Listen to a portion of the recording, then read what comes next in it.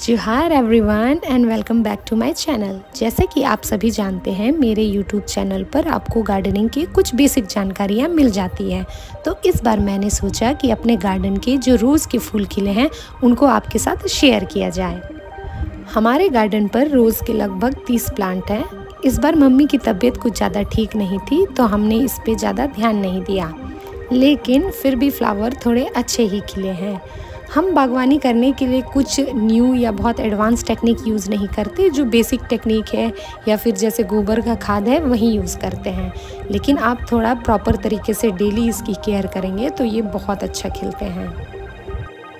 हमारे गार्डन पर yellow white red pink orange purple इस तरह के फ्लावर मिल जाएँगे। लेकिन मम्मी का फेवरेट कलर पिंक है तो सबसे ज़्यादा हमारे यहाँ पिंक कलर के फ्लावर्स हैं।